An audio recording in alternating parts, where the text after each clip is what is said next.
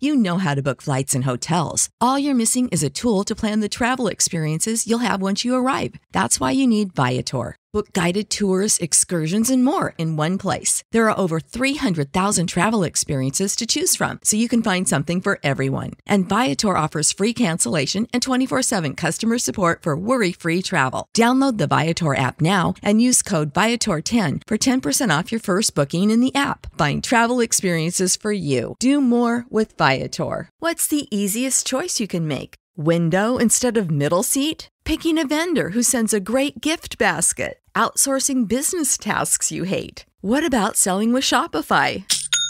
Whether you're selling a little or a lot, Shopify helps you do your thing, however you cha-ching. Shopify is the global commerce platform that helps you sell at every stage of your business. From the launch your online shop stage to the first real life store stage, all the way to the did we just hit a million orders stage. Shopify's there to help you grow. Whether you're selling scented soap or offering outdoor outfits, Shopify helps you sell. Wherever and whatever you're selling, Shopify's got you covered. Sign up for a $1 per month trial period at shopify.com slash try. Go to shopify.com slash try now to grow your business, no matter what stage you're in. Shopify.com slash try.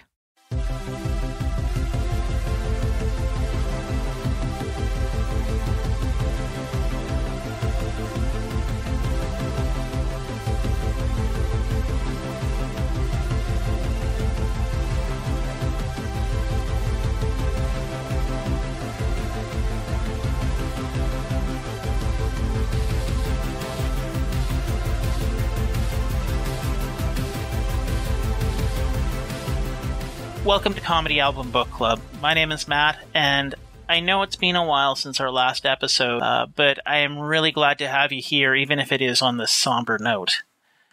As you are probably aware, we lost Norm Macdonald. Norm was one of the most recognized and popular Canadian comedians, and was a unique voice in the comedy world. A contrarian who lost his job at Saturday Night Live for refusing to back down over making jokes about O.J. Simpson, he wasn't always the easiest comic to watch for a few reasons. His deadpan delivery and long walk style was so different from that of his peers, it was almost alien. But once he found the game of what he was trying to do, it could be truly astounding. That said, there were times his jokes did feel mean spirited or old fashioned, and this could be difficult to watch. But more on that later. Over the first few years of recording Comedy Album Book Club, I was lucky enough to meet several friends of Norm's who had worked with him in the past. Four of them joined me to share their stories and memories of the man, shedding a bit of light on who he was and where he came from, letting us see a bit of what we may not have seen in the public persona. In this episode, I'm joined by four truly great Canadian comedians Bruce Clark, Jim McAleese, Lara Rae, and Todd Van Allen. Before we start, a bit of history. Born on October 7th, 1959, Norm came from Quebec City, one of three sons born to Fern and Percy Lloyd Macdonald. He grew up in a fairly typical Canadian middle class family, which seems to have informed his work. He started his comedy career in the clubs of Ottawa, becoming a regular performing at Yuk Yuk's before getting a chance to perform at the 1987 Just for Laughs Festival in Montreal. By this point, he had already established a voice, and as our guests today mention, he seems to have been a fully formed comedian before leaving for Los Angeles, as many Canadian comics do. Performing on Star Search and writing on the sitcom Roseanne, he joined the Saturday Night Live cast in 1993 and took up the role of the Weekend Update anchor in its 20th season. This is where I got to meet Norm. Saturday Night Live was always a part of my life, and sandwiched between Kevin Nealon and Colin Quinn, Norm was an incredibly different voice from both that of his predecessor and those that followed. His jokes were merciless, and his dry delivery stood in such contrast to the silliness of the rest of the episode. It was almost like a mid episode palate cleanser. But he was surrounded by some of the most talented cast members the show's ever had and this just elevated his craft. his impressions were always interesting to me, as they always seemed to capture the spirit of his subjects, but there was always that little sliver of Norm shining through. And while his sketches, like the breaking into the Central Park Pol- Zoo polar bear cage sketch, seemed to have a lot of absurd nonsense going on, there's that bit of dry Norm. It was like he was trying to remind people of the absurdity of what was going on in front of them. That said, in later years, he tended to lean into the contrarianism, which made him difficult to listen to for some people, but it doesn't change his unique voice and his place as the king of the long walk joke. And now, here's our guests Bruce, Lara, Jim, and Todd.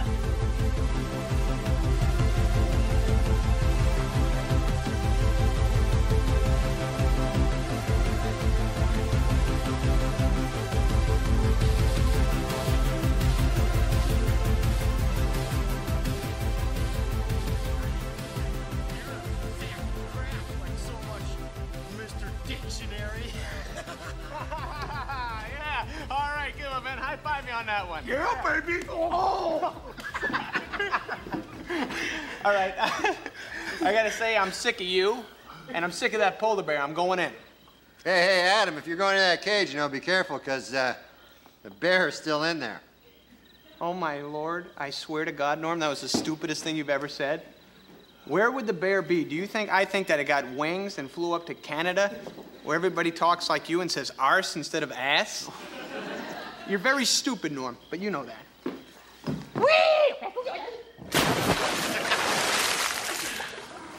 Man, did you hear that? He calls me stupid. He just jumped into the polar bear cage, huh? Who do you think stupid? A guy jumps into a polar cage? Or the fella people like to call Mr. Dictionary?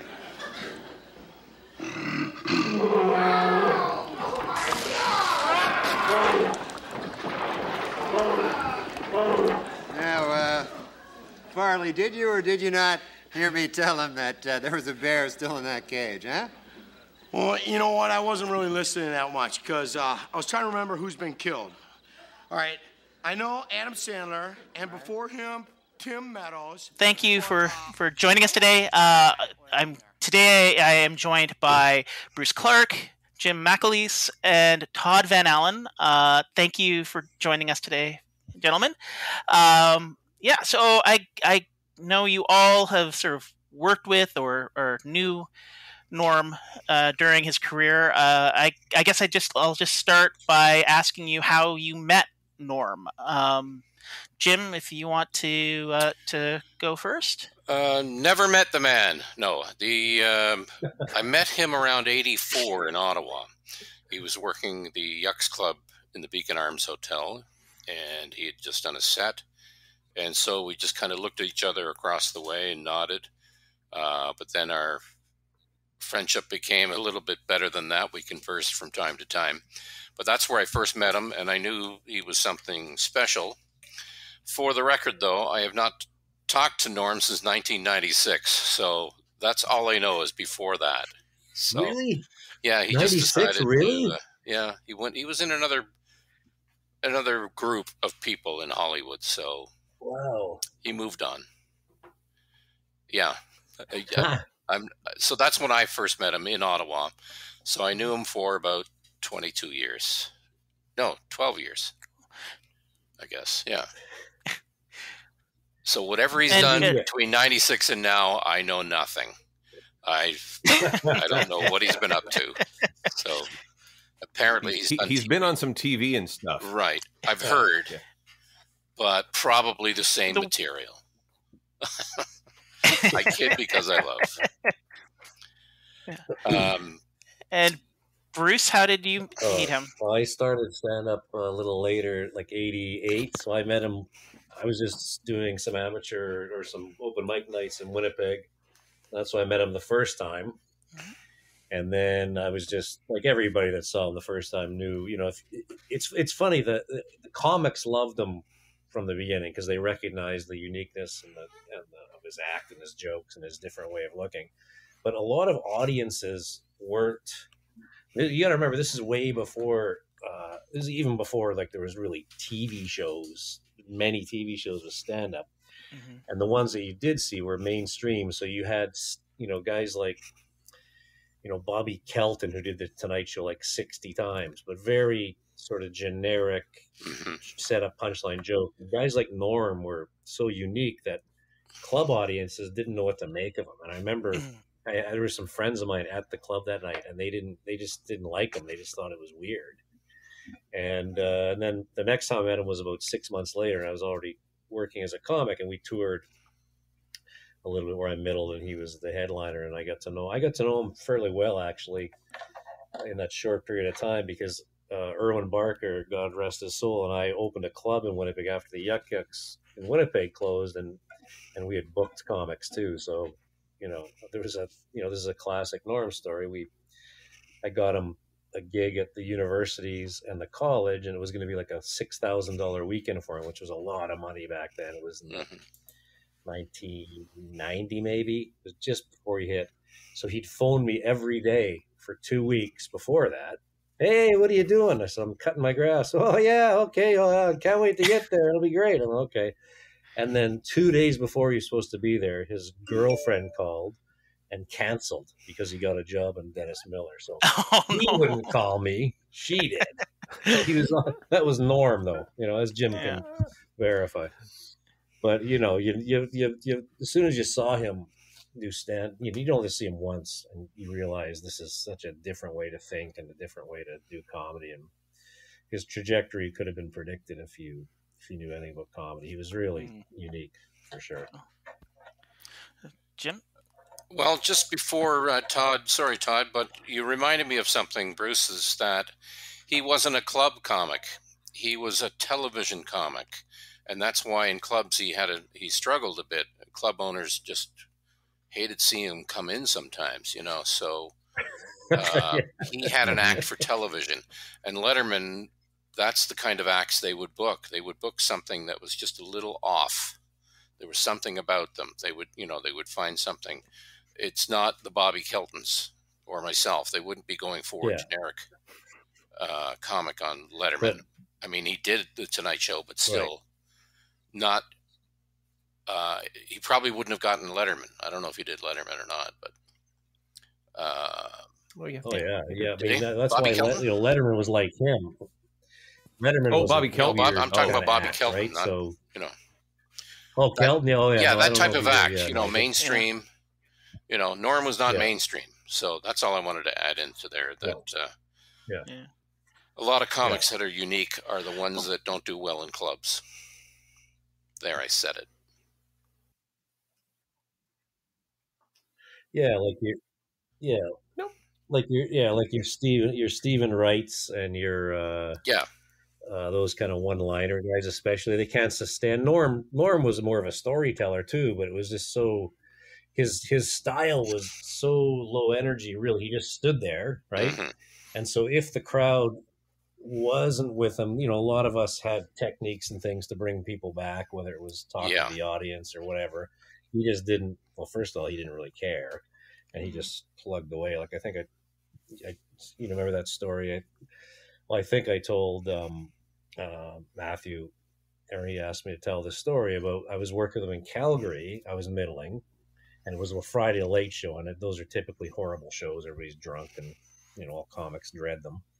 And you know it was okay. It wasn't a great show, so the MC brings him up, and uh, I'm sitting there, and he starts his act, and he's doing like five minutes, seven minutes, and the people are just, you know, the murmurs just keep starting, and people are talking, and he did about 15 minutes, and then he just started over again and did the, did the next. He didn't care. He just started over and verbatim did the other the 15 minutes again. And remember, it was like Dale, I think. Remember, Dale was running the club. And she Mhm. came up to, what is he doing? I said, I don't know. He's just doing his act again. But Yeah. he didn't. He could care less. Yeah. And and yeah, and that's the thing. I you know when you're famous and people just know you from your from your public persona, they don't know that side to you. And to me, the more interesting side of Norm is those kind of stories, because we all know how funny he was and how great he was, but the stories of that, or you know, Jim, I remember you told me a story about going to see Dave Broadfoot, and he called you to go see him. Oh, I don't know. I think it's a pretty funny story. Well, uh, we're cutting in on Tom's time, but I'll tell it real quick. Hopefully, I don't get cut out. Um, yeah, I said, "Oh, I'm thinking of going to see Dave Broadfoot's uh, dinner show." And he says, "Oh, get ready for a lot of jokes that end with they should work at the post office." You know. So. and and Todd, how how did you meet Norm? Um, uh, pretty much, pretty much like everyone else in this room, just like at at at a show. And first of all, just to follow up on one of uh, Bruce's comments, the easiest job in show business is the follow spot operator at a Norm Macdonald show. um, he he was immobile. Um, I I met him when I was uh, starting out in comedy. So I uh, uh, I was at University of Waterloo at the time, and I started um, uh, going to their shows as soon as I found the place every week. And so I got to know the comics just by watching them and meet and talking with them after the show. Um, I kind of met everyone kind of on the on the Yucks roster, and Norm was one of those guys that as soon as you saw him, you just went, "Oh my god!" Like this guy is just he's he's perfect. And uh, he let me know that he was he was from Ottawa. And uh, when I went to, I was on in Ottawa on co-op, and everyone sort of knew that uh, knew Norm. Like everyone knew Norm up in, and this was when it was um, the hotel at um, on on Albert Street in, in Ottawa, and how he was how he was uh, running that.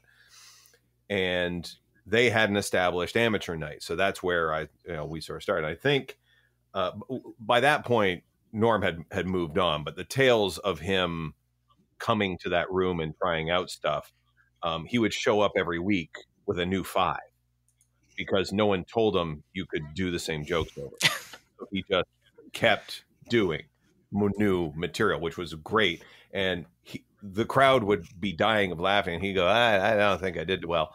And I was like, no, no, you did good. And so Howard obviously just promoted him, you know, got got the word in, in Mark's ear that you got to move this guy up. And uh, by the time I got back, I did like, you know, one my first semester at uh, Waterloo, my first semester in Ottawa, so I got to I got to do the the um, the amateur uh, route in in Ottawa. By the time I got back, um, Kitchener before I had left let me do a spot, uh, and I did both shows for them. And then by the time I got back, they actually had an established amateur night. Mm-hmm. So we were eh, so this uh, it, it, was it was just like the the usual model. You kind of finished like the Wednesday or the Thursday night regular show, and then they put us up, and you could stay if you wanted that's how it worked. This isn't going to be as good as the thing you saw. And but the the nights we were all kind of crammed together and we, we got to watch Norm middle at that point. He was just he wasn't headlining, he wasn't hosting. He was just he was the middle act, and it's like, oh my god, like he's like a step from us, but miles ahead of us. Yeah, you know, positionally he was close, but talent wise, forget it. Like you just you just acknowledged it. Um, and so by the time I got back to Ottawa again uh, in the next semester, he was headlining by that point. Yeah. Um, and we and we got to see him kind of you know fill 45 minutes. And, and Ottawa really had a good uh, love for him. Like that city really enjoyed um, uh, Norm just like they loved Mike. Like everyone sort of had that um, that sense of this is our guy, mm. and you know he came from this scene. And we sort of we had that as well. And when he when he got onto the Pat Sajak show, that was a huge moment for all of us in that community because um, that was his network television debut, and we everyone set their VCRs and everyone huddled around TVs to watch it live, and it was wonderful. It was it's it's like when it's it's similar to uh, if you if you've seen the documentary when stand up stood out about the Boston comedy scene. Mm-hmm. There's um, a similar moment when Steven Wright gets the the nod for the Tonight Show and everyone in the Boston mm-hmm. comedy scene kind of hovers around TVs and, and watches it. And the same thing was with us. We were like, oh my God, here comes Norm. Who cares if it's Pat Sajak? This is great. And it, and it was. It was, uh, you know, we, we got to see the jokes that he had been working on for years and suddenly, you know, take to the air. And it's fun when you see, like, oh my God, like that's our guy. And Ottawa was like this weird club. Like when I started, one of my contemporaries was Tom Green Tom Green was doing shows at the same time I was. So uh, I think he's doing okay. Yeah, he's he's surviving. You know? He's surviving. Yeah. yeah. Um, now you, you you've you've all sort of touched on it to some degree. Like he was, he's not your normal club comedian. He's not. his humor is like store more storytelling oriented.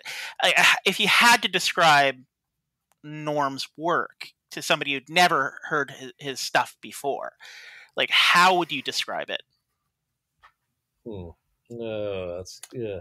Uh, Fully committed. So just surprising, like Full, you don't. Yeah, you're, you're just surprised when the punchline comes, and it's you know, like that Charles Ng joke he did.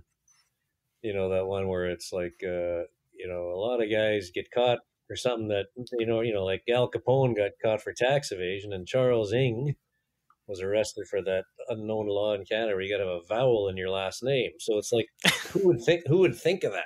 Like, I, yeah.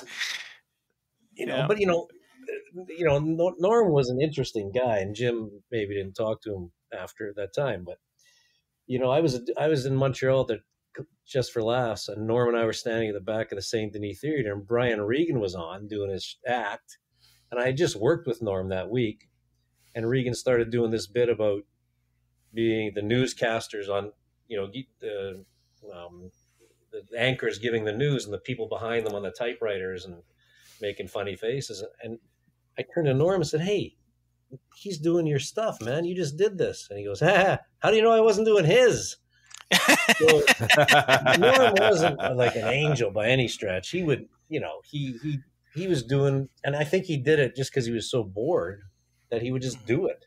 And I don't know why, but he mm. there was there's several occasions where he was doing like somebody else's, like famous people's bits for whatever reason he he chose to just out of boredom or well, somebody Jim, you might be able to speak to that. Somebody told me last week that you know he did that a lot, and I didn't know that because I didn't I didn't. I was a headliner, so I wasn't working with him. Yeah, he would be bored. It's not that he was stealing somebody's joke to get ahead. He was just doing it because he was bored, and so he would do somebody's right. joke, right? You know, but it wasn't in his routine every night. I don't think. Um, no. no.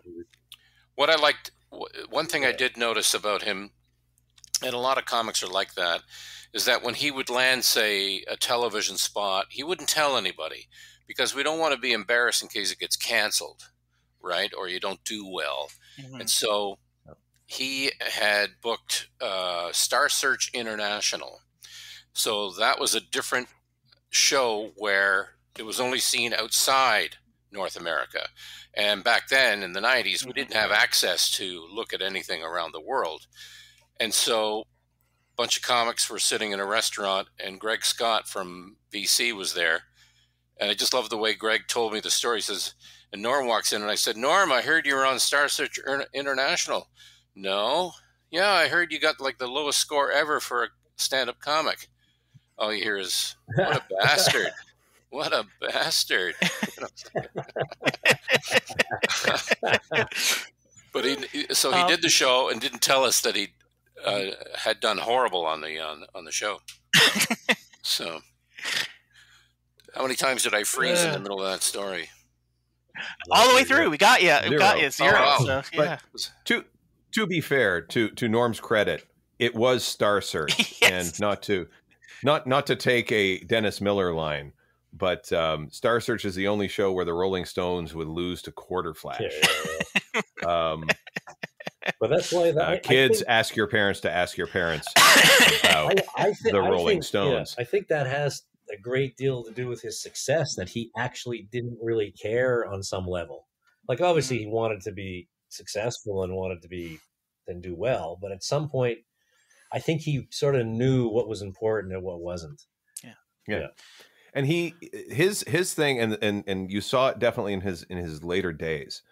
And it was it, it, was the twinkle in his eye kind of at the at, in his early stages, but it was full blown all through his DNA.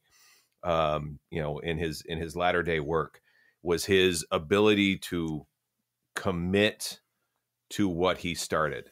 So when he began his set, like to, to the to the point of re, of, you know redoing the set, you know, mm-hmm. just restarting that show halfway through is like he's going to do that because he is going to commit to that bit when you know he is showing up on shows and telling street jokes as if they're his own Yeah. and owning that and you know improving his way through them Mhm. and and just adding way more charm and comedy Yeah. to those jokes than he would, ever would have had in in the in the first place But it, and watching him dig into an audience that didn't dig him Yeah, but at that point, when you're on, you know, Conan, for instance, and you're Norm Macdonald, he knew this. Yeah. He could do anything, and people would be entertained. That's why Yeah. he did Yeah. it. I think. You know, if you did that in a club or a show where it was your first, you know, your first Conan, you would never do that. But he, you know, he had already been established. So I mean, it's a lot Yeah. easier to go on there and goof off when you're, you know, everybody. li- Oh, it's just Norm. You know. Well, I think he But, toyed uh, with that yeah, before he left Toronto. but he but he Like he was doing that Yeah. before he left to go to Yeah. Hollywood, just to uh, be able to think on his feet, you know, and not worry about Yeah. uh, the the the material. Sorry. And I also remember the the, beau- the beautiful part of Yeah. So one quick thing to Todd's point when he Yeah. talked about like doing all the new material. I remember we were working together one time, and he said, "Oh man, I, I just worked in Toronto. You know, on the Thursday, like Wednesday and Thursday was like the you'd have like five or six guys doing ten minutes, right?" Hmm. And and he says, you know, I was working with Greg Morton, and Greg's a hilarious guy. He said, on it's a Thursday Yes. night, and he's doing his closer, like his big closer with the Tina Turner thing on a Thursday yeah, yeah. night. And Norm's like, why would you do that? It's, you're supposed to be trying new stuff. Like it was like to your Todd's point, it was like that's what he always did. hmm That's why Yeah. he was so wealthy with material. Mhm. Yeah, his his his full on, just just watching him dismantle a, a crowd, um, and, and when I when I say dismantle, not just destroy them comedically, which he did often, but he would he could very easily figure out a crowd and and just still go, nope, this is my game plan. It's like it's up to you to figure this out.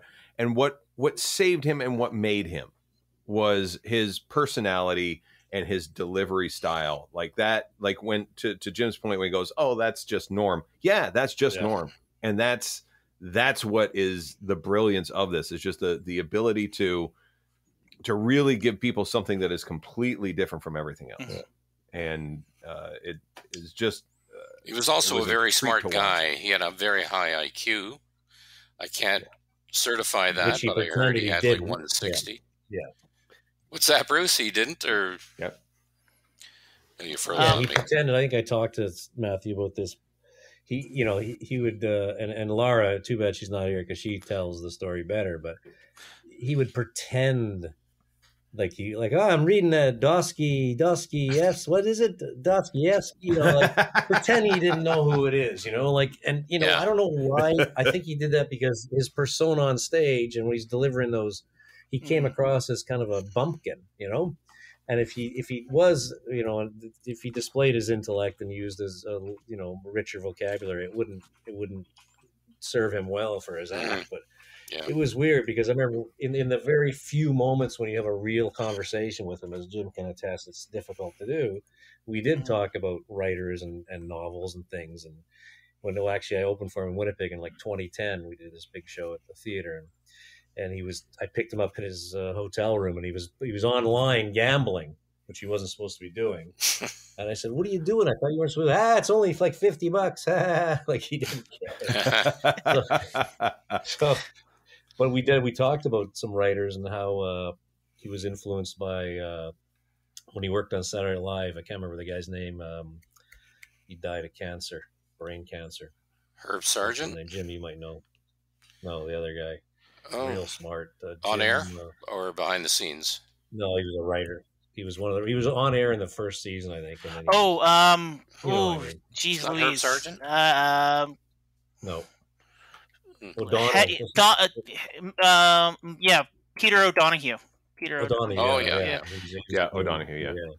Mhm. So, but yeah, Norm was really, really smart and just didn't. Uh, and I remember we, we another clarity moment when we were working in Calgary together, and I, you know, we how comics talk, and I said, well, "What? Why do you do like? Why do you do this? Well, what do you think it is?" And he said, oh, "He said when I was young, I used to go to jazz clubs and watch the musicians and comics, and I just loved it." And Norm is one of the few comics I know. I don't think he's ever had a real, ever had a real job that I know of. Like, he's one of the few guys. Yeah.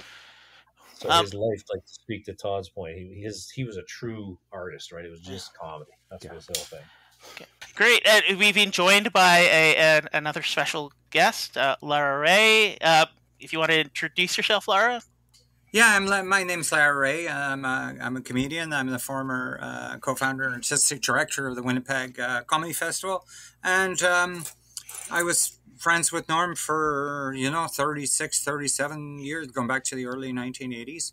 Um, and so I just I thought it would be a fine tribute uh, to Norm uh, to forget this uh, was happening, uh, to be 40 minutes late, to not know how to work the technology, and then in about three minutes just stand up and walk away and uh, let you guys continue.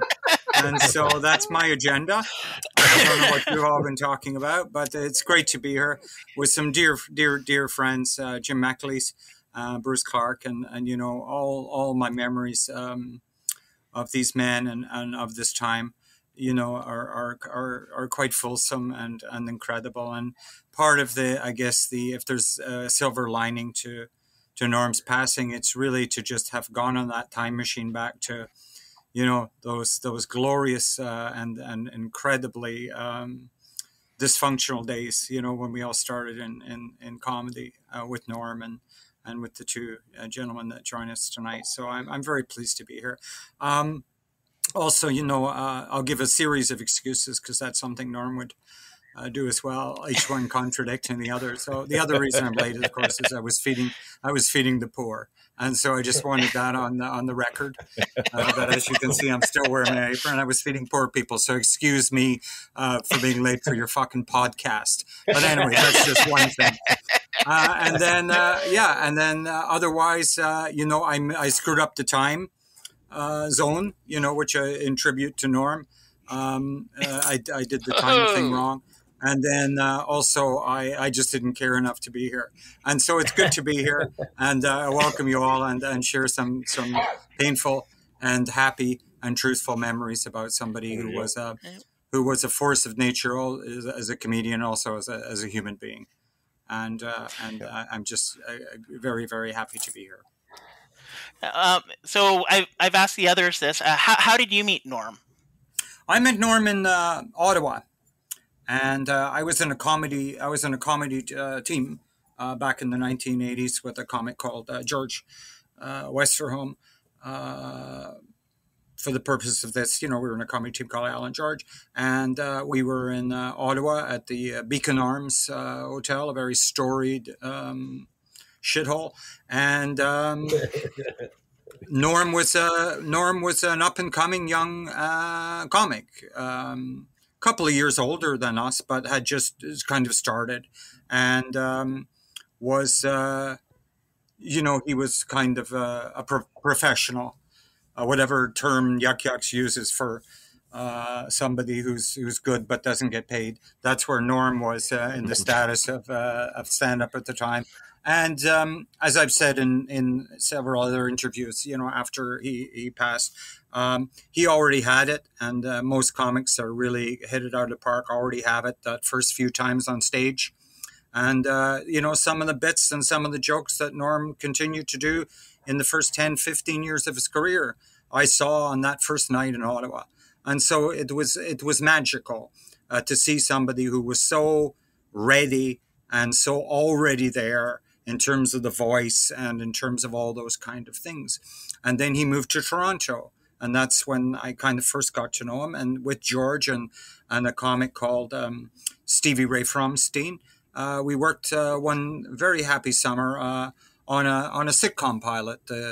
actually, two sitcoms pilots. Um, the the four of us, uh, and that was uh, at a time when uh, Norm was constantly interrogating um, Stevie Ray, who had lost uh, testicle to uh, cancer, and so Norm would call him uh, One Nut Fromstein. And uh, back in the day, go uh, every time we'd have a break, he'd go, "Hey, so uh, hey, One Nut Fromstein, how do you know when you got cancer, right?" And then um, it became, you know, kind of obs- an obsession with Norm. Uh, just interrogating Steve about cancer.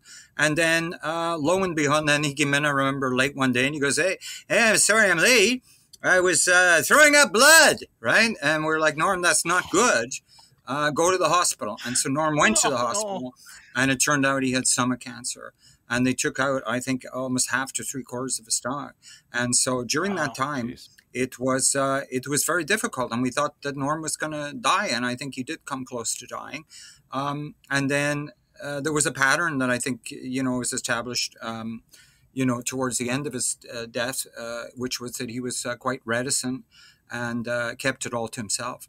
And so we knew that he was sick, but we didn't know how sick he was because he kind of cocooned and hid himself. And then obviously he did recover and was was off to a glorious career.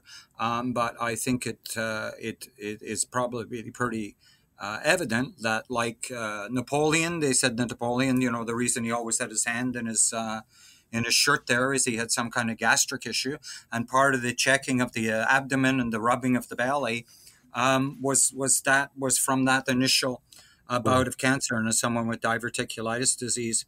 I understand that. I think partially it's comfort and partially it's just you know there's there's still a bit of residual kind of pain and tightening from the surgery and all that kind of stuff. So one of these habits that he developed over the years, I think, was a was a bit of a, a precursor and uh, and a bit of an omen that uh, you know that this uh, terrible and horrible disease that that takes people so young um, would would return and, and finally end his life uh, in such a sad and sad way. And you know, he had more to give, and I, I think we're all brokenhearted about that part of it. But he was a force in all of our lives, and because he was a big personality and he was terribly funny. And of all the comics we started with, he probably went to the big show, um, you know, at a higher level and for longer than any.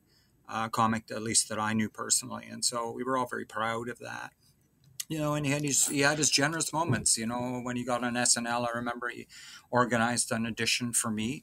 You know, as a writer, and uh, you know, and so so these were things, uh, nice things that I remember about the man. And um, I was sorry that I didn't uh, get to see him uh, closer to his uh, his his final last few years.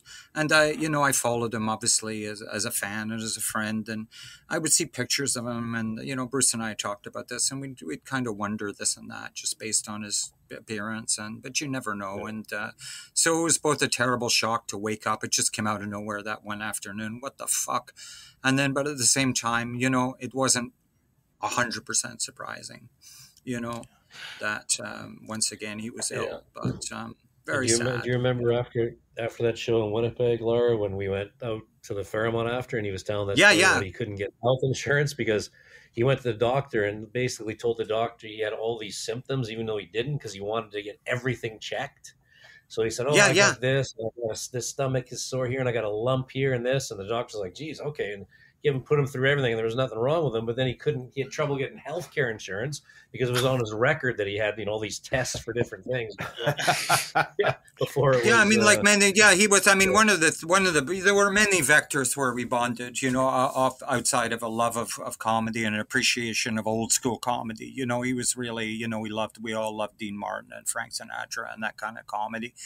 And uh, but the other uh, place that we did bond was, I think we were both, you know uh, Norm liked big words, so you know we were both um, valetudinarians. We were both hypochondriacs, you know, and so I'm constantly concerned about what what kind of illness is going to befall me. And so we certainly did have that in common, but unfortunately, on the couple of occasions, his his guessing was right, and uh, you know, and, and that disease finally took his life, which is terribly sad. Now, think, uh, um, over the last few days, or sorry, go ahead, Jim. Well, I was just going to say, uh, Larry, you, you, you touched on something that most comics that came after um, after us, like the original guys, every young comic was touching their stomach. The original six, Patting. uh, we, we were called the original six. That's right. Yeah. Well, in Edmonton, they thought it was the original seven, Uh, so they thought I was an artist. Um, they didn't get the original six reference, but anyway. But a lot of young comics would pat their tummy while they're d- delivering the jokes, and it's like they're channeling their inner norm. You know. And yeah, he- no question about was- it. No question about it. he he loved playing pranks and stuff. He got me a Tonight Show audition when I was in LA in '93, and we went to the Improv because I wanted to do a set before the next night when Jimmy Brogan was coming down to see me. And um, by the time I was scheduled to go on, there was no one in the room, and that's when they usually close the show. So Norman, I, Norm says, "Hang on," and he goes into the bar next door and he brings two women out into the club. and he sits with one at the back and is talking to her, and I'm on stage doing my set to one woman in the middle of the room. He's at the back talking to this woman, and I'm doing my routine just to get the timing out to this woman, very conversational, and he just yells out, "Do the hockey bit." You know, every five seconds, just do the hockey bit. The hockey Just- bit was uh, in the, the, the third star, Gary That's right. Yeah, where it's perfect for LA. Gary Dornhoefer. Uh, now, one of the He things was, you know, over the one of, that was something about Norm too, you know, uh, like, uh, and the other McDonald shared this as, you know, he was a huge fan of comedy and he had a tremendous amount of respect for other comics. And so he was a bit of a magpie. Um, and he, you know, he would, he would remember your bets, you know, and, and he would, uh, you know, he, he definitely had his favorites, you know, and he was, Mhm. he was, uh, you know, quick to, quick to say so, you know, and, uh, and we all had our Yeah. favorite Norm bits as well, you know, but, but so many, you know, come to mind. That backseat middle, you know, those beautifully structured. Uh, you know, I'm, I'm, you know, Bruce can maybe jump in on this, but you know, this is something that really is interesting, especially when you have a long career like Norm did. That to you know that Norm really was a comedy comedian for everybody for so much of his career. And bits like Backseat Middle and, and Wiener Dog and all those things were really classic old school bits that could just as easily belong on a, like a Shelley Berman or a Bob Newhart album. And then hmm. I think it wasn't so much that, and you, Bruce, you can jump in. It wasn't so much that Norm changed; it's that his audience changed, and and for a bunch of reasons, he became attractive to a certain kind of segment of the population, kind of young male, young young male fans Well, that that was- like yeah, people when like. started and- no, no aspersions on Yeah. any of these comics. I love them all. Anthony Jeselnik, uh, Jim Norton, uh, Jimmy Carr that Norm really fell into that category as a kind of dark comic, comic, a kind of sinister comic, a kind of pushy, edgy comic. But most of my memories of Norm are doing material that really was really immersed in that old school classic structured bit, you know, like backseat middle that was just so, you know, very much closer to to Brent Butt, you know, for most of his career than Yeah. Jeselnik or or these comics that came came along later. This kind of dark, cynical edge um, that was really worthwhile and and really helped Norm with the comic wasn't the fundamental part, I think, of Norm's comic DNA. Do you guys agree with that? Yeah, I think I think when he started doing Stern and all that, the young male kind of crowd, that's when his audience changed a little bit. But I mm-hmm. think you're right. Yeah, I think because when you think about his old like those old bits and when we used to work them in the like the early 90s, it wasn't there was no sort of not a nasty edge to him at all. But and you can see that in, like we were just talking before you got on about the street jokes he would tell on Conan. And, Oh yeah, yeah, and- and- yeah, very much. You know, and that was from the British influence, like Ronnie Corbett and Dave Allen. You know, taking a street joke and Yeah. just you know, expanding it just by being kind of a funny raconteur. You know, and I know that he was uh, immersed because we had many conversations about this in the kind of raconteur guest star on shows like The Tonight Show, and these bits, you know, where where George Gobel would flick his cigarette Right. or Dean Martin would flick, you know, all these classic, show busy kind of Mhm. uh, couch moments. Uh, Norm had an encyclopedic knowledge of, and I think really tried to reproduce through his entire career to great effect. And it was when I most loved uh, Norm is when he when he was really channeling uh, that kind of old school comedy entertainer energy. And he said to me many times, you know, uh, things he'd heard from old school comics, which is if you do political humor, you're going to split your audience in half, right? Be an entertainer for everybody, right? Don't say a bunch of stuff that's going to piss people off. And it was terribly interesting because one of his, I don't know if it was his very last, but I think it was, his last Netflix special was such a white bread, but extremely funny uh, stand up comedy special with no swear words, no dark material, right? And it really was a full circle kind of thing. And I don't want to do any Monday morning fucking fortune telling on on what people's mindsets are. But I, we we do know for a fact that he had some inkling that he was he was sick and that it may have shortened his life. But it is interesting to me that one of the last things he did really established himself in that kind of ilk or genre. And again, I'm not making any categorization uh, as one is better than the other because I love both of those styles of comedy, right? But I just that's only my personal observation, you know. And I really Now, loved one- that. I really loved that last special, you know. I really, really did, and it was so fucking refreshing. Which is the other thing that Norm was good at was put was playing against trends. If everyone was doing one thing, Norm would do something else, and it was part of his charm and part of his oppositional personality. But it really was something that was made him interesting. You know, he always kept you on his mm-hmm. toes, and every interview he did was fascinating because you never knew what he was going to say. You know, and that, and he was extremely intelligent. And why he constantly was obsessed with playing that down, I have no idea. But he's one of the intel- most intelligent people and one of the most well-read people in comedy that I've ever met. and and prolific. And I mean, prolific, Like that, yeah, the, yeah. The, the the the joke the joke that you're talking about the the backseat middle joke. Uh, the the legend is that he wrote that on the way to a gig. There's no question about it. and blur and and blurted it out that night. Oh yeah, and it absolutely, yeah. flawless, Uh, was a very you know, organic. and yeah, totally. yeah. I mean, there's And another question has always been who was who were the other two guys in the front seat? Yeah, that's a who I wanna question. know. I'm sure there's a 'Cause I- bunch of- I have ideas. There'll be a bunch of comics that claim they were. I've, I really don't have any idea. But I mean, I was there for the development of, of some of the bits. You know, not the some not the most classic, but uh, Old Man Sack. Right. I was telling Bruce this the other night. Mm-hmm. So we go, hey, I saw an Old Man Sack. Right. Uh, that was actually when we were working on that uh, uh, sitcom pilot together, and uh, Stevie Ray Fromstein's old Jewish dad uh, came home, and we all had a sauna. We went down to the sauna in the condominium they lived in, and he's like, "Oh my God, I saw Fromstein's old man sack, man! Oh my God!" and then you know, and then that night, the old man sack uh, routine started to uh, kind of foment and uh, and develop. You know, Yeah. and I mean, I, I'd love to share just because, you know, I, I still adore these two premises. So the two uh, sitcom scripts we were working on that summer, uh, neither of which went to fruition, uh, really kind of exemplified what I'm talking about right now. And the first was called Four Sharps in a Flat. And so George and I were punk rockers. Uh, Norm was kind of a washed up Dean Martin lounge singer. And uh, Stevie Ray Fromstein was a folk singer.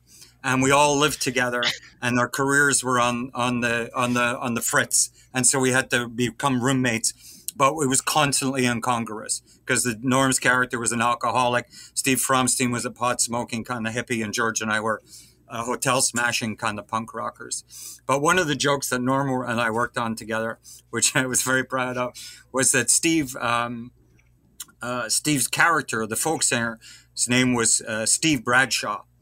And Steve Bradshaw, there was a group that we made this group up, a folk group called Hook, Line, and Sinker, right? And then Steve Sinker dies. And so they get this guy, Steve Bradshaw, and they say, Can you change your name to Steve Sinker so we can keep going with Steve Sinker? And he refuses. So then they drew Hook, Line, and Bradshaw, which, was- which was a classic kind of Norm joke. And I just love it. And then the other one that really spoke to Norm's obsessions with things like 70s television was the other pilot was was, was a show that was a parody, and this was before Naked Gun, uh, a parody of 1970s five episode uh, uh, cop shows, and it was called The Falls Guys, and it was two cops in Niagara Falls, Ontario, and uh, every episode ended with them fighting over the edge of the falls with the bad guy and the bad guy falling over and going into Niagara Falls every single week without fail. And then Norm, who played one of the detectives, would go to the uh, Louis Tussaud uh, Wax Museum on Clifton Hill because it took place on the Canadian side. That was the other joke, the crime-free Canadian side. Uh, he would Yeah, go yeah, yeah. and he would uh, he would he would get advice from the Telly Savalas wax Kojak thing. And he'd go, ah, ah, Kojak, I just, I don't know where this case is going, man. And then, and then he would kind of, he would channel Kojak. He go, oh, baby, here's what you got to do, right? Because Norm, Norm, Norm. The other thing about Norm, like Lenny Bruce, is he he didn't start as an impressionist, but Norm was a great impressionist, and he could do everybody. And he used to do a Kojak bit that was literally, and I wasn't in the room, but I saw the episode where he would basically do uh, Telly Savalas, but it was literally ripped out of a Kojak episode. And so a young woman is murdered, and then her family come from a small town and they come into the police station. And kojak's deputy i can't remember his name says uh, kojak uh, the family's here. Cracker crocker. And then the, uh, the the the family come you know the midwest couple. And the mother's crying. And she goes i can't believe this happened. She was such a good girl. And then kojak says she was a good girl Mum's apple pie, Fourth of July. She was a hooker. Norm, Norm, Norm said that line in my presence, I don't know, 150 times. And every time he did it, we laughed. The other one, of course, was uh, Archie Bunker and Edith doing the Julius Caesar. Oh, yeah. mm. Beware the, now, beware uh, the ice march. Hey, would you quit stabbing with you with the knife there, idiot? Ay, ay, ay. Anyway, he was yeah, he was a great. He could do, and and he did other comics as well. He could do everybody. We can all do Norm, and then Norm could do every every comic that he worked yeah. with. You know, he was a real he was a real magpie that way, or no, not magpie. Uh, Mimic, uh, yeah. A myna bird. A magpie is somebody who steals, oh, yeah. uh, but that's um, anyway. Go on. Yeah. Now, I over the last few days, uh, um, I've, a lot of people have been sort of sharing. You know, a lot of younger comedians have been sharing what they took from his stage persona and his state and his bits, and how they that impacted them. What's something that like is there something that you'd want people to know about who he was off stage? Like what people didn't really see beyond that that stage persona? Like what's something that you think people should be aware of in that regard? Um, you guys want to? I mean, I have I have a few things well, to say. yeah, you I mean, like we, first? you know, we uh, we talked about uh, you know you know we're all we all contain multitudes, and Norm wasn't like we before you got on Lara. We talked about how he did was doing Brian Regan stuff when I was working with him, and then he was like, ah, maybe I was doing his. But you know, there's a funny story, and you know, Norm was an odd cat, and so he had a he had a son, Dylan, and I guess Dylan's about twenty seven or twenty eight now, I think. So he had the baby, and he used to be chummy with Rothpan, Jeff Rothpan, a very funny stand up from Montreal, lives in L.A. And he calls him, and he says, "Hey, you want to play tennis tomorrow?" And Jeff goes, "Okay, what time?" He says, uh, "Pick me up at eleven. We got the the I got the court booked for eleven thirty. He goes, okay. So he gets to his house at 11. And he goes, uh, You want to come see my baby? And Jeff's like, What? Said, You had a baby? He said, Yeah, I had a baby. He said, When? He said, Yesterday. He said, You had a baby yesterday and you're going to play tennis? He goes, Yeah. What's wrong with that? So he goes, Before we get to the court, can you drive me to the Roseanne set? Because he was working for Roseanne then. I got to drop off this gift basket because they sent me a beautiful uh, bouquet and fruit and stuff for the baby. So he's like, okay. So they get to Roseanne and just waiting in the parking lot for him, like 10 minutes, 15, 20 minutes. He gets back. It's like 11 now. It's 1140. And he goes, uh, he's Norm. I thought you said the court was 1130. He goes, no, one o'clock. Can you take me to, and then he got him to drive him around everywhere because Norm never drew. No, drive around or deliver all these things and say hi to people before they go play tennis. So he was, yeah, he was a, you know, he'd, he'd be a hard guy to be a real friend to because, you know, he didn't give anything. And he was, and that speaks to his, I think, a lot of comics who are super successful like that become kind of encased and, in their own personality. Absolutely. And then, you know, in, in many ways, you know, and I won't go into all of them, um, if there was somebody, you know, who I knew personally and then somebody I knew who, from reading his work and reading his journals and stuff, that there were some colories between um, personality wise between uh, Norm and John Cheever. And uh, when Benjamin Cheever, John Cheever's son, edited his journals, which were uh, quite um, honest and, and, and, and provocative when they, they first came out and, and, and spoke a great deal about uh, his own private thoughts and feelings. Uh, Benjamin looked for uh, the entry on the day that he was born, his son, and there was no mention in the diary of in the three pages of what went on that day that Cheever had had another kid, and so you know we all tend to be rather narcissistic in this uh, in this business. Yeah. Um, the other thing, of course, and there was a there was a New York Times article about it that that, that was rather superficial, but uh, Norm, and you can Google it um, because Norm spoke about it quite eloquently and fascinatingly. Um, Norm was a Christian, and Norm was a religious person, and a lot of people don't know that. And it was sincere, and it was real, and um, and that that was the side of him I think that people didn't know and uh, it was a very interesting side of him. And he's, he, you know, it was another vector too because uh, you know it's an interest of mine, and something I'm happy to talk about. Uh, one of the regrets I have uh, with with with you know the early days, you know, was there was so much drinking. Um, not so much on Norm's end. I mean, Norm was. Um, I mean, I think I've told this story. The one the one drunk story I had with Norm was when we were in Niagara Falls and and uh, just before the show. Um, uh, he, he's nowhere to be seen. And then he finally shows up in, uh, like two minutes before he's supposed to go on. And I said, "Where were you?" And he goes, uh, "Oh man, uh, we drank so much last night. I I threw up all over my shirt, you know. And by shirt, it was like a, you know, it's like a, you know, a, a dress shirt, right? Uh, and, and, I mm-hmm. said, what, what, Norm, you only brought the one shirt? And he's like, hey, yeah, I only brought the one shirt. And then I said, uh, so, uh, so where were you? You had to go get a shirt. He goes, yeah, yeah, I went back to Toronto, uh, get a new shirt. And I said, uh, Norm, uh, why didn't you just go to a store and buy a shirt? He goes, hey, I never thought of that.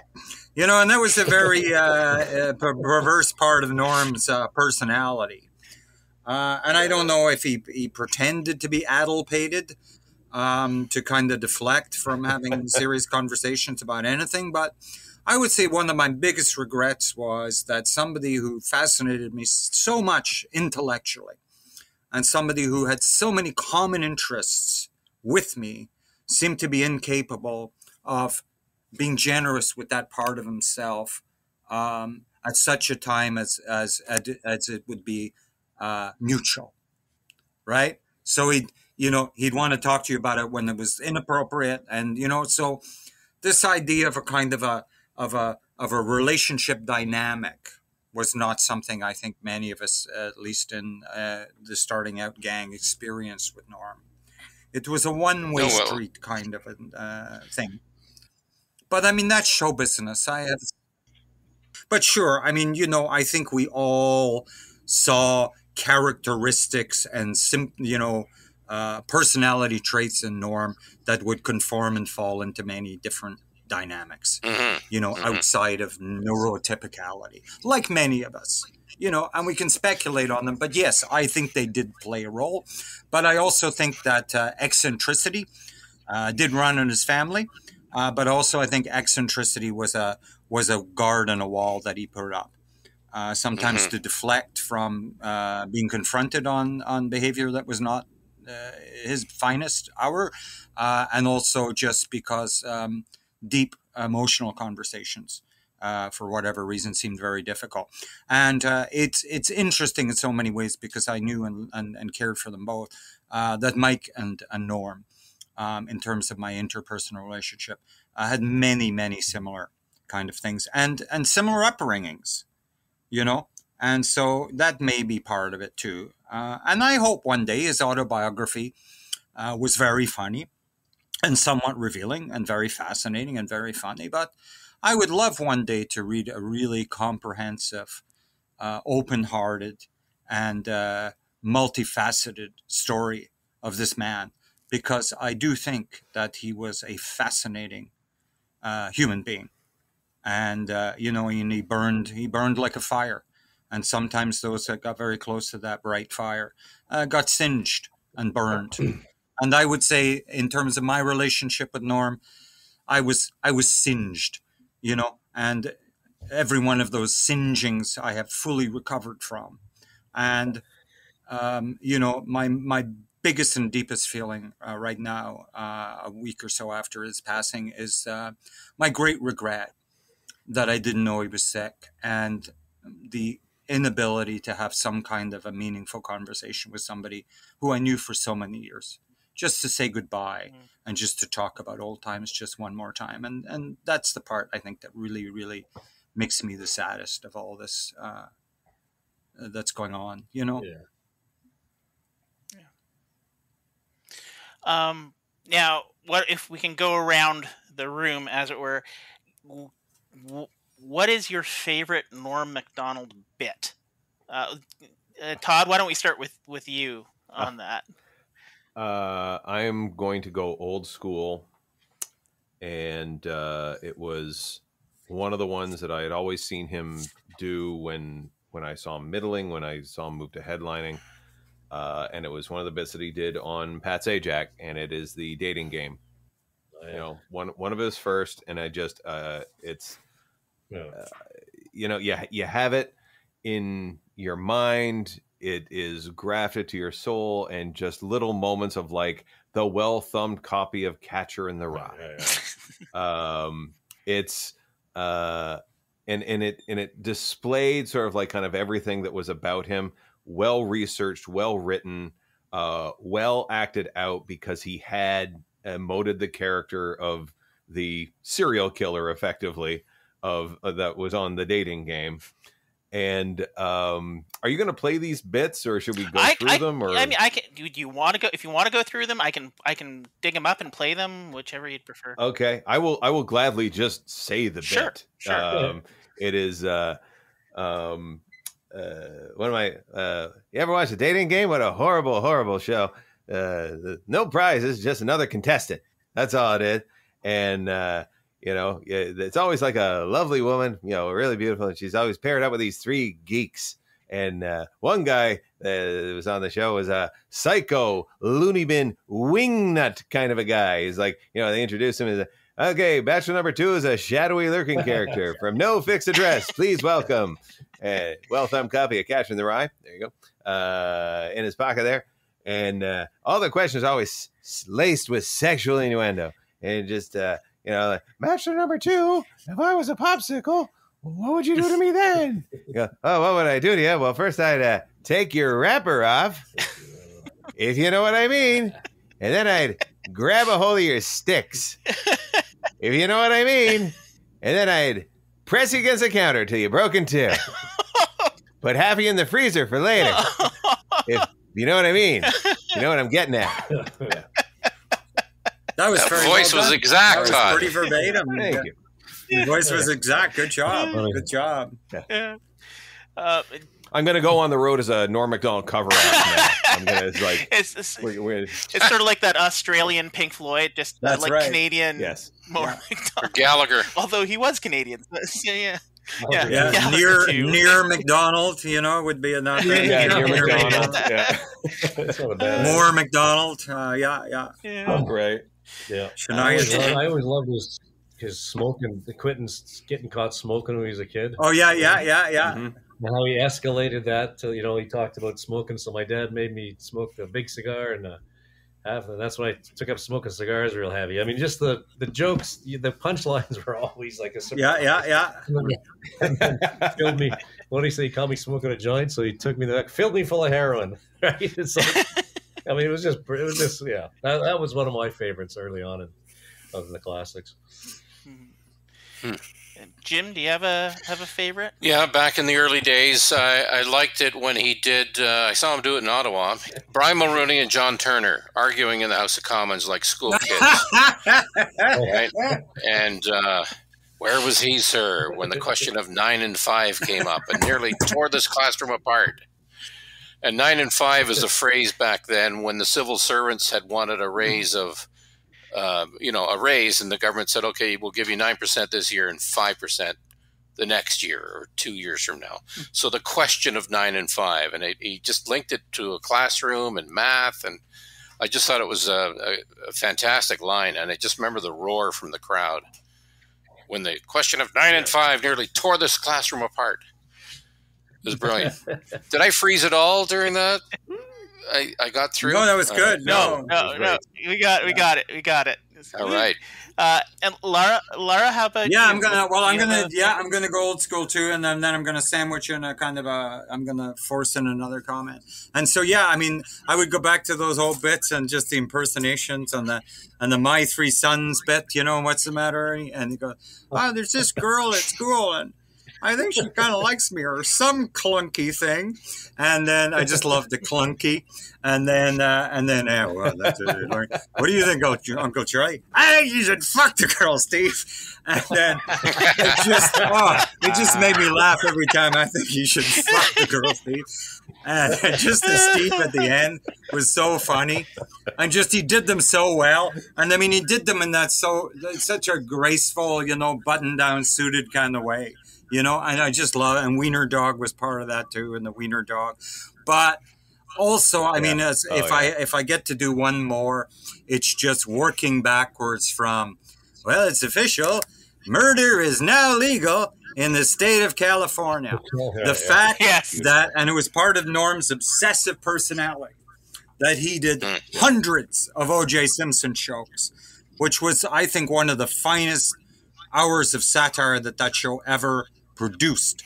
And then that, Yeah. you know, that this that this creepy man, you know, fired Norm uh, because he didn't want to live with the idea that his his uh, friend uh, was a was a double murderer. You know, it's one of the most embarrassing uh, moments in Saturday Night Live uh, history. You know, as far as I'm concerned.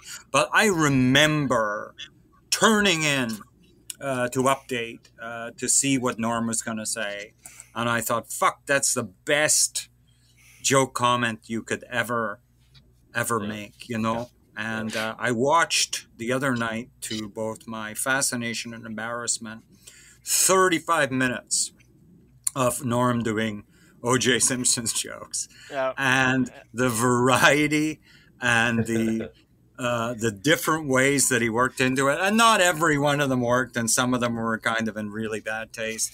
But the ones that did, you know, Johnnie Cochran putting on the thing, and he said, "Hey, hey, that's that's my favorite. That's my stabby hat." You know, it just really, really, really funny. And to me, that was when he was his most fearless and his most old school Lenny Bruce kind of fearless. Not doing kind of edgy jokes that, you know, in some cases would would piss off certain minorities and special interest groups because I don't think that that was really what Norm was about. You know, Norm was not about hurting anybody's feelings with his comedy. It really was the opposite of what he set out to do and and to be and I don't think he, he chose to go in that direction but Norm Norm was somebody who was pulled pulled to and fro you know in his career um, Chris Finn once said quite famously and I think astutely that Norm often failed upwards right that Norm would would would blow another opportunity just through a kind of Dean Martin kind of style laziness of not showing up or doing another take and so on. And then he'd just be given a better and bigger opportunity. You know, and this was his way throughout his whole career, you know, but he reminded me of Oscar Levant, you know, in that way. You Jim, you might remember Oscar Levant. Oscar Levant was a frequent Tonight Show guest who, who struggled with mental health, began as a concert pianist, and then just became a, a raconteur, you know. And Norm, I know, loved Oscar Levant. And um, and so I'll share one comment, you know, that Norm and I used to love together. Um, and it's kind of apt because it's morbid. They asked uh, uh, Oscar Levant uh, what he wanted on his uh, tombstone when he died. And he said, uh, surrounded by idiots. And uh, I remember Norm Yeah. thought that that was very funny, you know, and that's one another memory of, you know, one of these obscure figures from that golden day of talk show raconteurship. Uh, you know, and, and this is another thing that's terribly important. A real life goal of Norm Macdonald, which he achieved, was to be the center square on Hollywood Squares.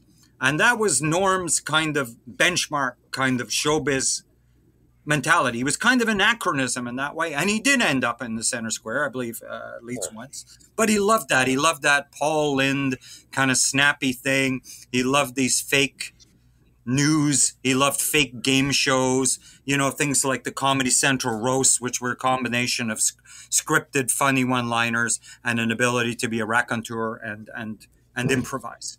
And so Norm, to me, had two remarkable careers as one of the best stand-ups, uh, as a as as a star of a short-lived but very funny a sitcom called The Norm Show, and just as one of the finest talk show raconteurs long after uh, that was something that uh, you could make a career and a living doing. And he really was a he built he he he he, he created a bridge between those two generations of comedy. I think like nobody else in the business. And because those two generations of comedy uh, crossed over with me, it's part of what I adored about him as a as a as a as a, right. an entertainer. And uh, you know, if I had if yeah, on talk shows, he wanted to be. I will say that. Yeah. Well, I was going to say on talk shows he wanted to Go be on. like Tony Randall or Orson Bean. Yeah, Tony Randall. Yeah. Yeah. Oscar Levant or, or, you know being Yeah, any yeah. of those guys. Totally, totally, totally. And, yeah. and and Tony Randall is a good analogy because Tony Randall had that personality too. He could be mm-hmm. catty mm-hmm. and kind of bitchy and stuff, but at the end of the day, I don't. He wanted to be a gentleman, you know, uh, at least on on camera, you know and mm-hmm. uh, mm-hmm. and so that was uh, you know Norm's final Letterman set encapsulated the character oh, and the yeah. persona that I think Norm Macdonald wanted us to remember in terms of his television career.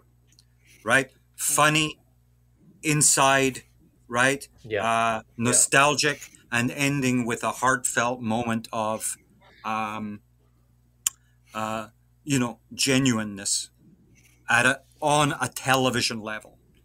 And because at that time there was only the professional image, right? Then that's all you remember for. And so mm-hmm. Johnny Carson, and we all know this, was nothing off stage, you know, and if he was anything, it was an asshole, right? And so, but Johnny Carson, and Johnny Carson said this Johnny Carson only existed, you know, on television. And in a way, the Norm Macdonald I love only existed on television.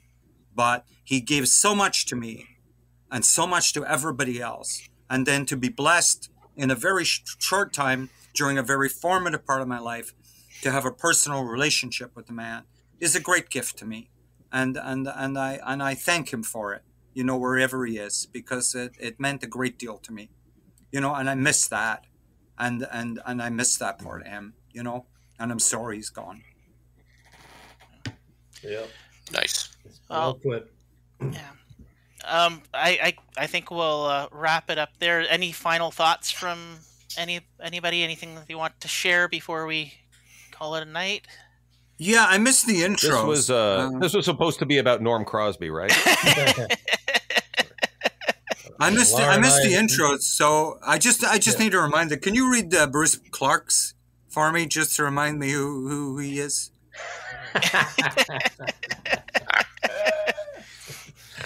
Because it seems to go back voice. a few years, just based on, on what I'm seeing here. the voice.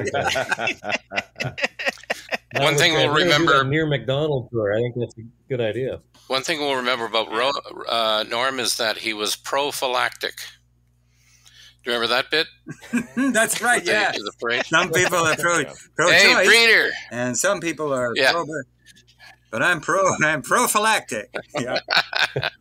but that was Norm's. But it's interesting too, Jim. That was Norm's way in to any contentious issue. Was was just a funny joke and a pun, and then move on. Yeah. Because yeah. I don't know that Norm was uh, pro-choice, and I don't. You know, I I care who's pro-choice and not pro-choice, but for the for the purpose of this conversation, um, I don't care, and it doesn't really matter. But it is a revelation as to that Norm had an was an entertainer, and so mm-hmm. he wouldn't rock any boat, you know. And he was his own man. He had his own opinions uh, about many things, and some of them were very engaging. Some of them were batshit. Some of them were uh, provocative. Some of them were strange. But you know, he's a complex uh, figure, yeah. a complex human being, and a terrific uh, entertainer. Yeah. And we got lots of YouTube of them to watch, so that's good. Mm-hmm. Yes. Yeah. That that has been one of the best things about this if if you can say a best thing is that everyone gets to find the the bit of norm that they love and throw it into the internet and say here's something that i adore and if you're lucky enough to be in the same feed and be able to, to catch them it's it's a celebration uh, you know there's not there's not often that you get to say that social media does one thing well but it is that it, it becomes sort of like this archive Yeah. of of people presenting things and there's uh, there's norm clips that I didn't realize existed out there whether it was him on his podcast him on someone else's podcast doing panel on a show telling a, a street joke maybe a, a clip from an obscure uh, stand-up set that you, you didn't know about him taking down a heckler on a, on a recording that was done in a comedy club i mean like all of those things kind of come together and help build out the the story and the and the character of who this Indisputably. guy was comedically and as a person and it's gorgeous Yeah, well, Lara's sentiments are exactly the same. We were just it was a privilege to kind of know him and at the end of the day and, and, and observe a man who was eccentric and quirky and funny and uh, you know you learn a little bit about human behavior by knowing people like that. So that's all. Mhm. Yeah. Excellent. All right. Well, thank you. thank you. Oh, You're welcome. we Thank lost, you. We lost Jim.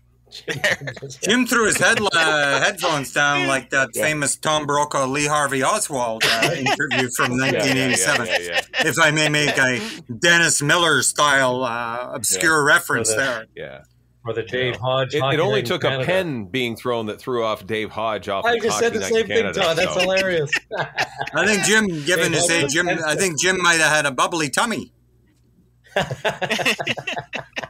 Bubbly tummy. all right. All right. All right. Well, thank We'll you. see ya. Thank you. Good you. night from See Winnipeg. you later. Yes. See you later. Uh, I was in LA, and and he, of course he's getting me to drive him around everywhere. So he was still working for Roseanne at the time.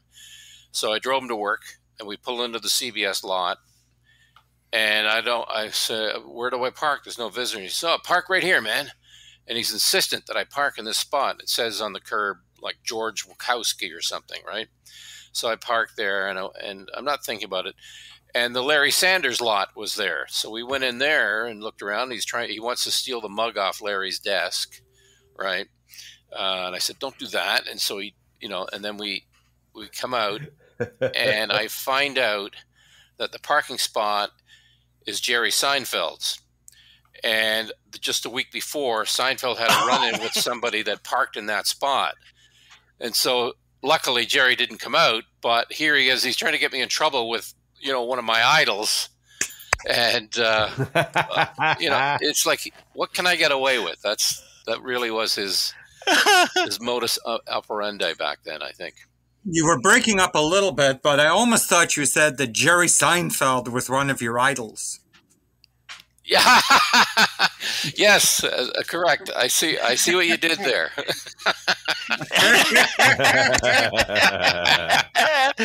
All right. Well, th- thank you again, everybody, for sharing today, and I really appreciate it. And, and everyone, have a great night. Take okay care. who are these people Call us if you need more audio drops.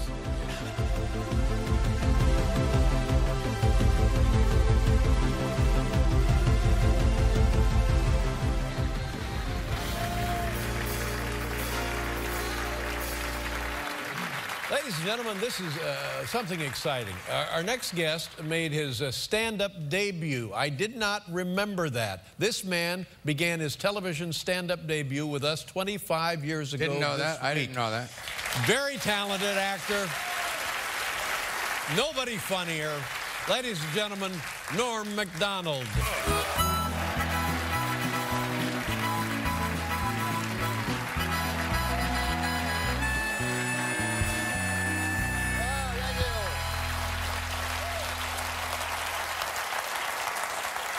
Thanks, guys. Listen, I don't want to brag or anything, but uh, me and Oprah are making the same money tonight.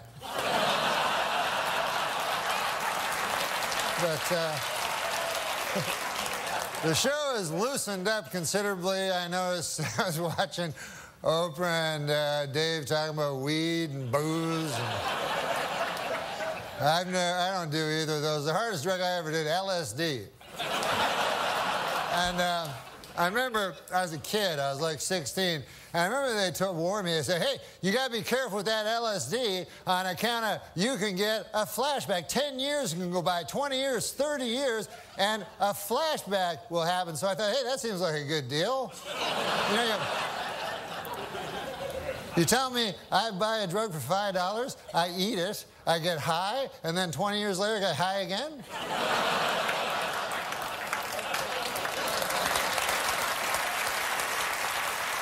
That's not the point. I like to stretch my drug dollar. The point is this 10 years have passed, 20 years have passed, 30 years have passed, and no flashbacks. What a jip that turned out to be. Just more horse by the big acid companies, that's all it is.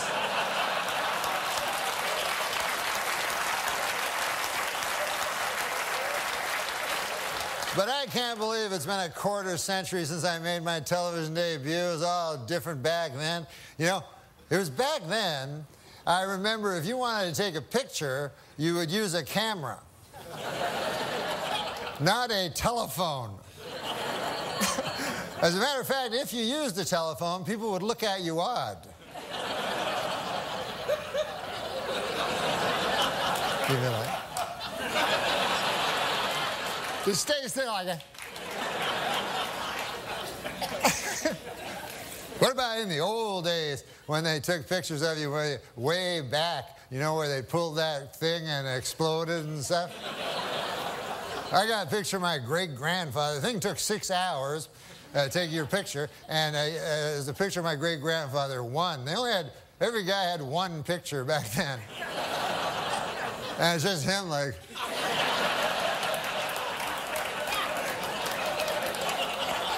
I gotta get back, feed them hogs. Who's gonna feed the hogs?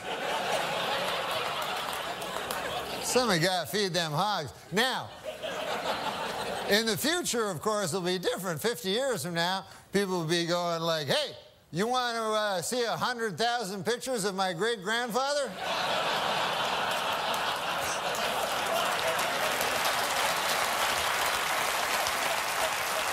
I got him right here, plus everything he did every day of his life. hey, this occurred to me today. Uh, ID, ID, which I had to show it again. There's a strange abbreviation when you think about it. I is short for I. and then D is short for dentification.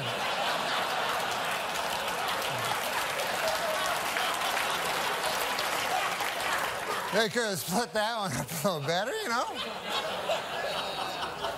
But I watch the TV, I watch the news, make you afraid, the news, you know? Put all these stories on Iraq, Iran, North Korea, you know, try to scare you, you know? But does it ever really scare you? Like, you ever wake up in the middle of the night, ah, North Korea! that little tiny country across the ocean. I wonder if they'll get me.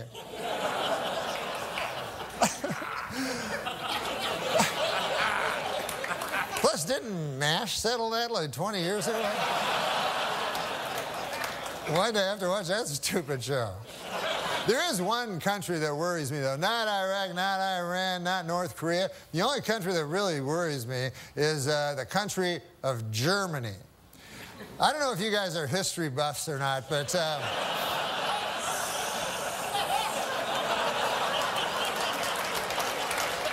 In the early uh, part of the previous century, Germany decided to go to war. And uh, who did they go to war with? The world. that had never been tried before. And uh, so you figure that would take about five seconds for the world to win, but uh, no, it was actually close.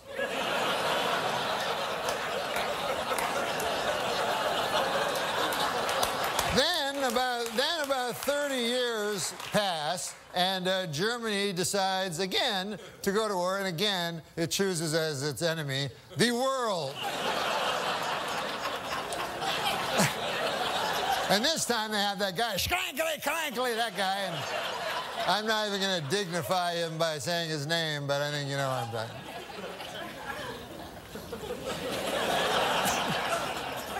But you'd think at that point the world would go, listen, Germany, here's the deal. You don't get to be a country no more on account of you keep attacking the world. I mean, what, do you,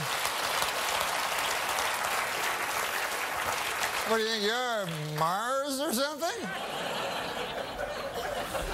Anyways, listen, folks, this will be my last time on uh, the David Letterman show, I understand. and you know, you know, you guys, we all know that David Letterman was the greatest talk show who, uh, host who ever lived. But I.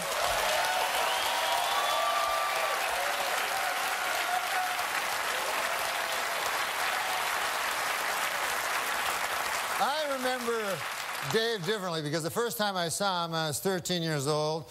I was living in. Uh,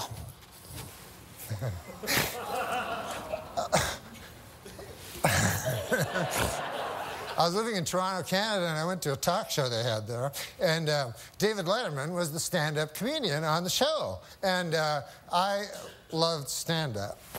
And David Letterman did this joke that I told everybody this joke. I love this joke. It still uh, stays with me as my favorite stand up joke ever. So I'd like to do it for you if you'd like to hear it.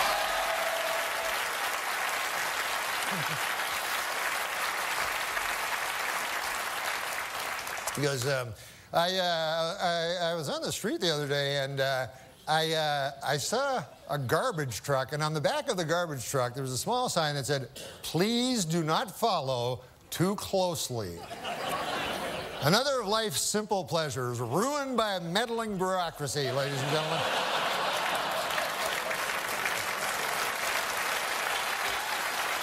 You remember the old days when when Dad would pile the kids in the station wagon and we'd all go out and follow a garbage truck.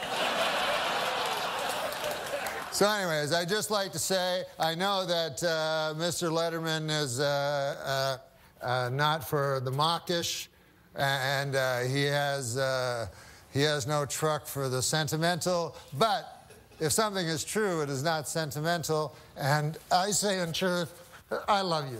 Oh my God. Oh, my God. Oh, my God. Oh, my God. Oh, Norm. Norm. Norm. Oh, my God. Very funny, Norm. And thank you. Thank you for everything. Thank you. Norm Macdonald, ladies and gentlemen. That was very sweet, Norm. Oh, Good night, everybody. Now, stay tuned for James Corden. This is Alan.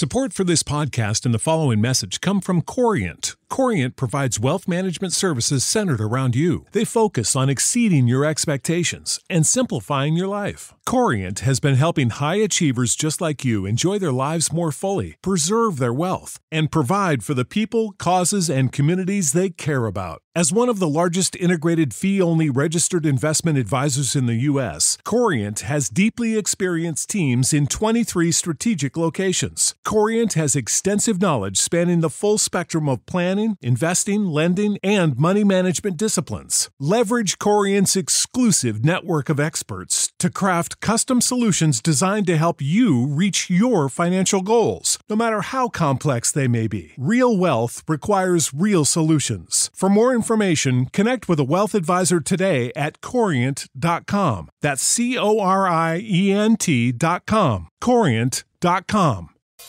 Looks like you need a vacation. Enter the 5 Hour Energy Where Will the Tide Take You sweepstakes. You could win a $10,000 dream beach vacation. Imagine jet setting off to a tropical paradise, having fun in the sun, or diving at a gorgeous reef. It's up to you. No purchase necessary. Go to 5hetide.com for official rules and to enter. That's 5hetide.com. Enter today. Ends June 30th, 2024.